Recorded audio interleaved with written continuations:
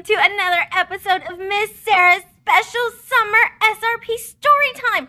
It's Blue Week. Can you tell? It's Blue Week here at the library, so we are going to be celebrating all things that are blue.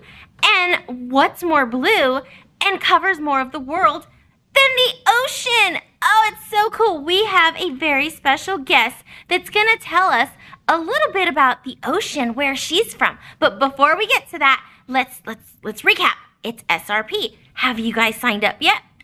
Because if you haven't, you should really go to srp.rivlib.net to sign up. You know why?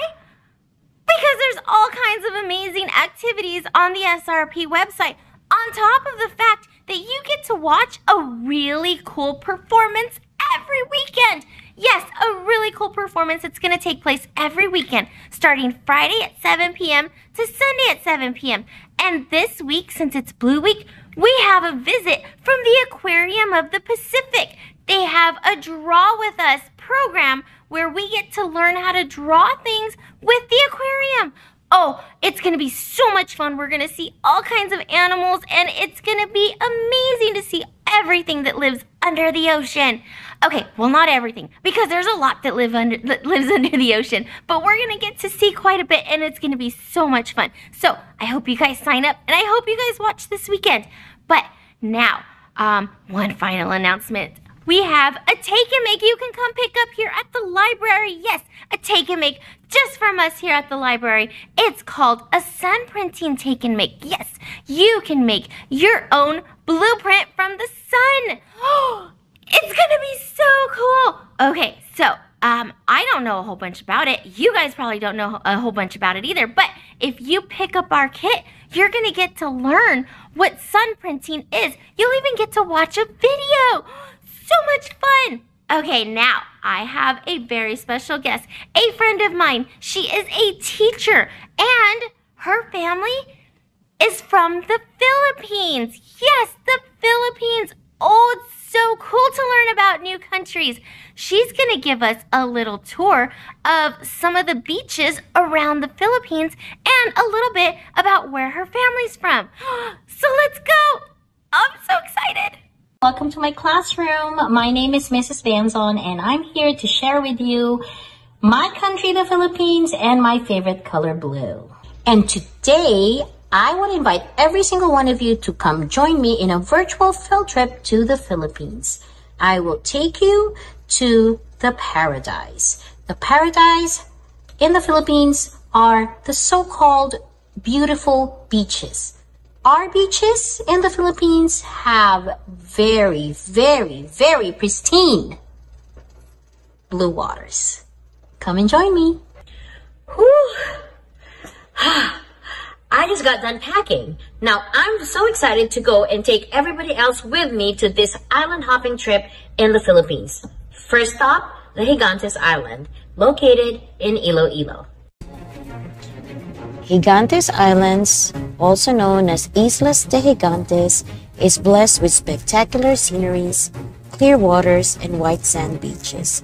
The rich, vast blue seascape, brimming with rich marine life, interesting caverns and caves, Palawan-like rock formations, and the long stretch of white sand beaches are just some of the reasons for people to visit the place. Gigantes Islands is composed of two big islands, Gigantes Norte and Gigantes Sur, and 10 islets.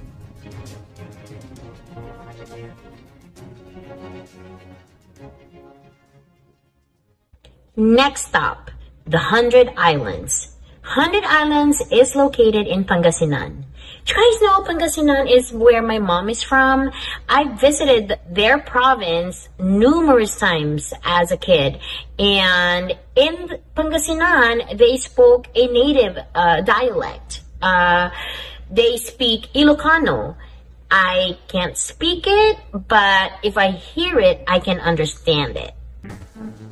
At first, I initially thought that it is indeed a total of 100 islands only to be informed later on that there are a total of 123 isles during high tide and 124 during low tide season.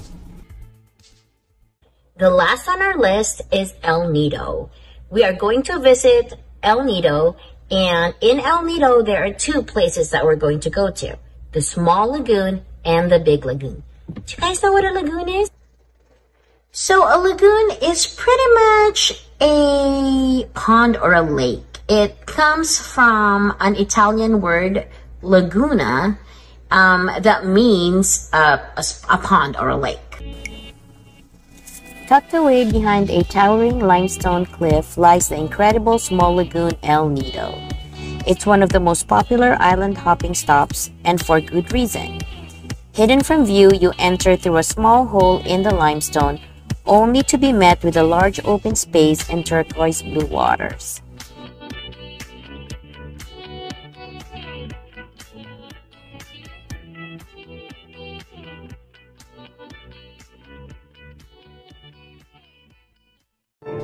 The Big Lagoon is truly an incredible sight from the air, from your kayak and underwater. It has it all. A narrow and shallow entrance channel leads you out into a giant lagoon surrounded by epic limestone cliffs. My favorite part was the left arm, which has some sharp coral at the entry, but is characterized by dazzlingly bright blue water.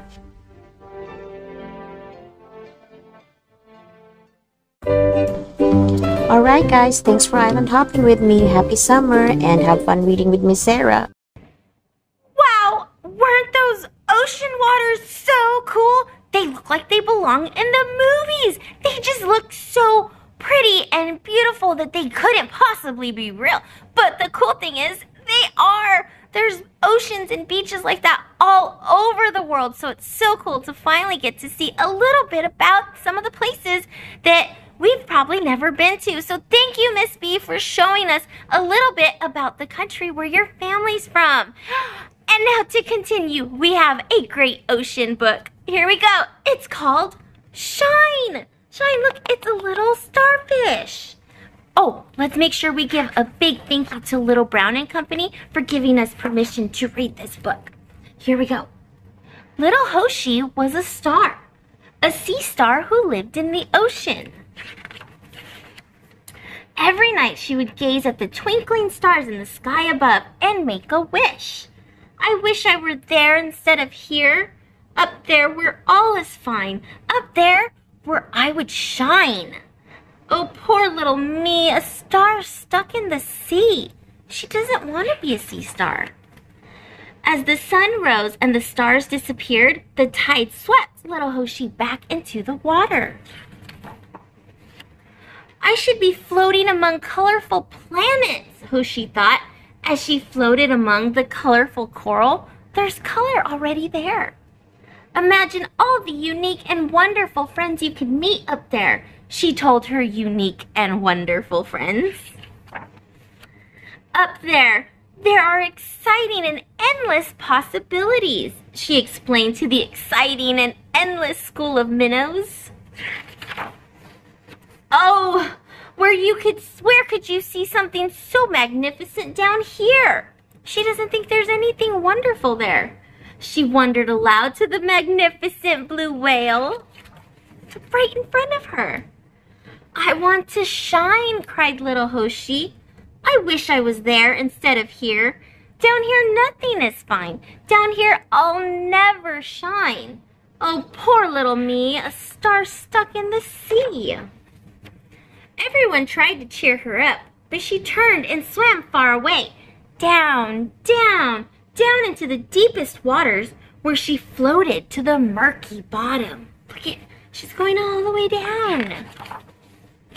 Little Hoshi gazed out into the darkness until she saw a star. Look at that. she closed her eyes and made a wish. Oh, make a wish. The star came closer Closer and closer. What is it?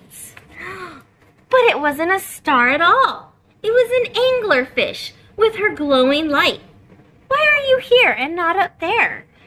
The angler, anglerfish asked the little sea star. That's what I want to know, said Hoshi. Oh, could you? Would you tell me how to shine? She wants the anglerfish to teach her. It's my pleasure, said the anglerfish. I shine because I'm happy. Happy to be here. Happy to be there. Happy to be anywhere. Because happiness, my dear, is always found right here.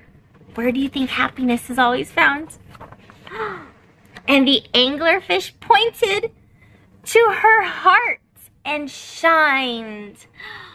And all her deep sea mates joined in.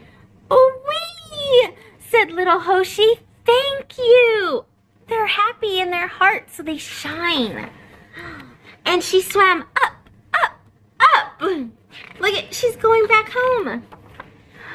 Where everyone welcomed her home. She gazed at her colorful, magnificent world and her unique and wonderful friends.